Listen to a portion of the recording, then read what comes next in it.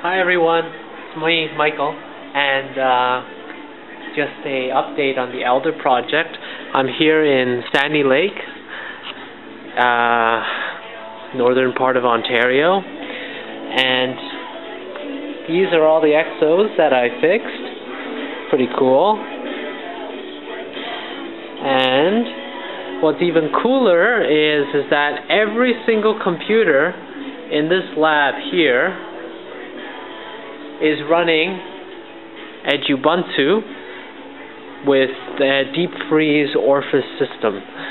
So, for example, if I go up to this computer here, pretty nice computer,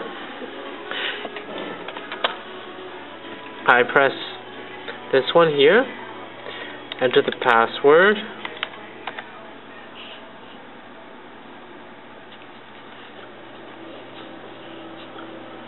Oh, there you go, Edubuntu. With all the applications here, educational software, games, education. So let's take a look at, for example, my favorite, TuxMath. you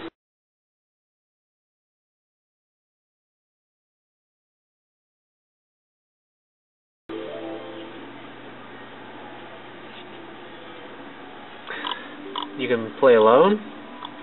I like playing alone. Play arcade game, Ace. So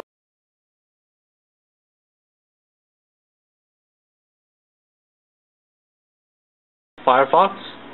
So Sandy Lake has pretty good internet. Good as in stable. For example, we want to go to Google.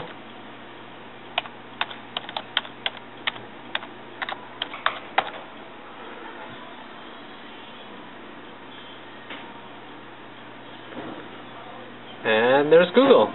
Not bad, eh?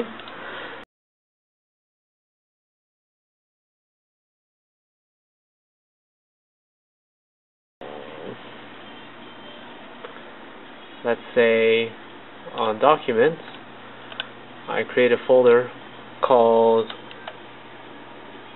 Work. No, let's call it Bad Stuff. So, anything here. So once the student logs out or restarts the computer,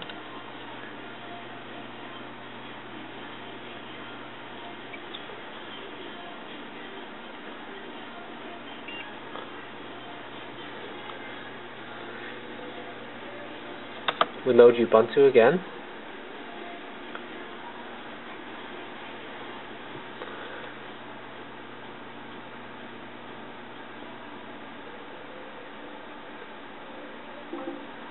We click on student. So this is the user that we've been to before. We go to home folder. Documents. There's nothing there. So it restores it to the way it previously was. No damage can ever be done. Pretty cool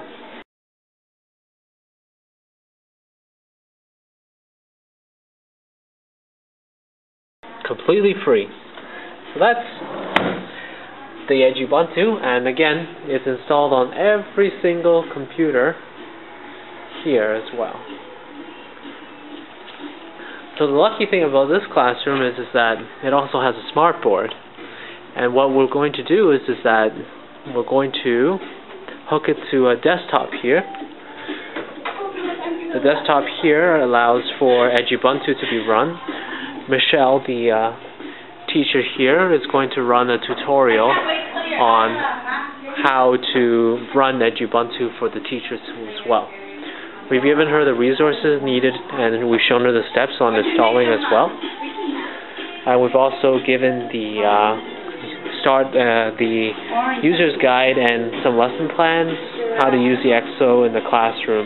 So this hopefully will be enough for the uh, classroom of maybe grade 2, grade 3, other laptops, computers that need to be done. And overall, a great success. Sandy Lake is the second and most comprehensive one because we've been able to install Ofris, the deep freeze system, and a variety of other things. So Michelle hopefully will give us some updates on how this is going to be done. And I'll see everyone later.